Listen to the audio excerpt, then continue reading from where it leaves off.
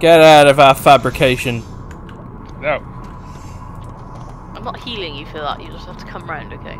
You got you got blunt force trauma in your right arm. You have to deal with it for a little bit. Why are you holding my arm? Cause I'm looking at you. Comforting me. It'll be okay. Why, why are Light you like. Arnold Schwarzenegger? Melissa. Don't worry, you'll be fine. Naruto. Oh, embraced by the presence of the captain. How do we salute? What's, what's below? Okay, more diving. Okay. I got a shake weight.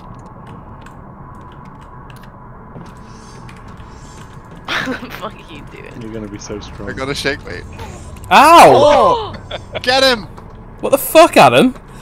Twiggy's got blunt force trauma. I'm sorry. Who gave that man a To weapon? your knees. I'm sorry. Right, who needs smacking? No. You go, Smeggy. That morphine Old will make you feel man. better. Go Yeah? give him a slap. Yeah. No. Hey. Yeah. For God's sake. Ow. You deserve that.